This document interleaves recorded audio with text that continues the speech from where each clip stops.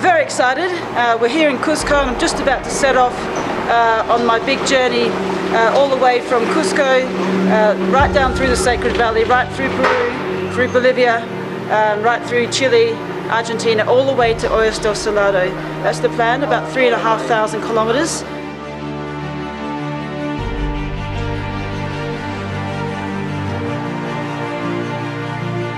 Well, this is the position right here where the very first iconic photograph of Machu Picchu was taken.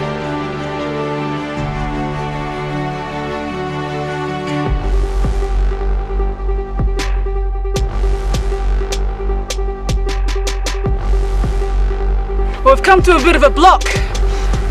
I can get through on my bike, but the vehicle can't.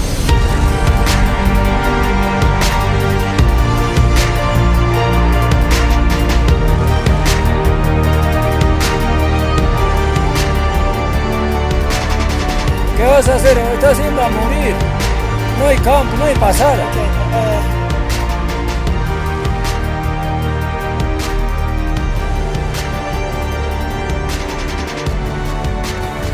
This altitude there's probably just less than 13% oxygen in the air, so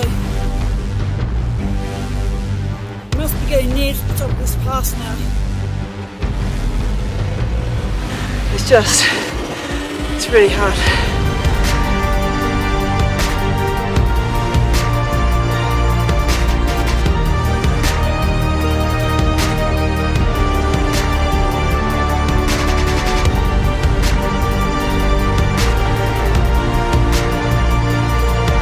Get stuck. If I don't help, we're never gonna move.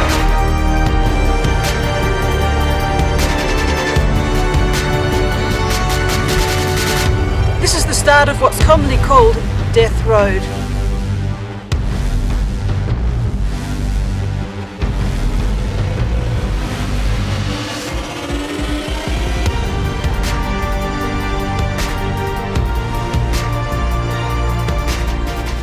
Today the humidity must be about 100% and it's really hot.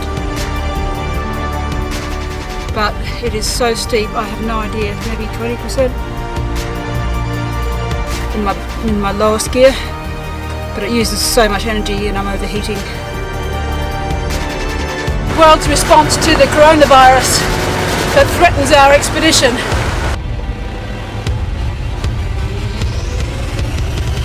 Yeah, I think we should, should go back to La Paz. Back in La Paz again, and our fears have come true. Um, it was better, we took the decision then that it was better to postpone the expedition. You know, it was, it was a very difficult decision to actually pull the pin, but it just had to be done. There was no choice. The news just kept coming through and it was becoming more and more complex. Chile is about to close its borders. Argentina already has.